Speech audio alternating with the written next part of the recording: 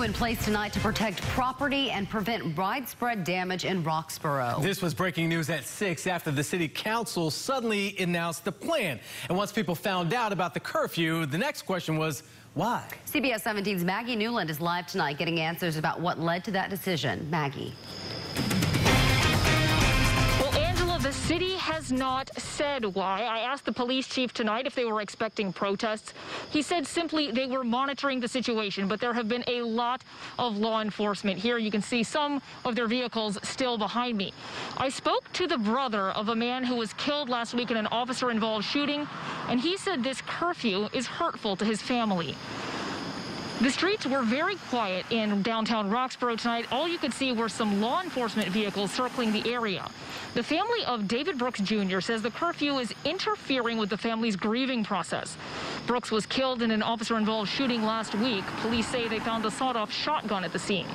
His brother said the family feels they can't even mourn due to this curfew.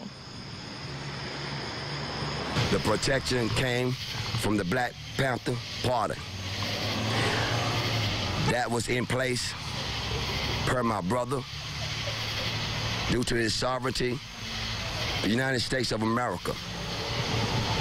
He had that in place because he had been harassed numerous of times and we just wanted to stop. I want them to know that I am not threatening. I embrace the police department because I pay my taxes here. My family pay their taxes here. The black community pay their taxes here. We need protection from the police officers, not harassment.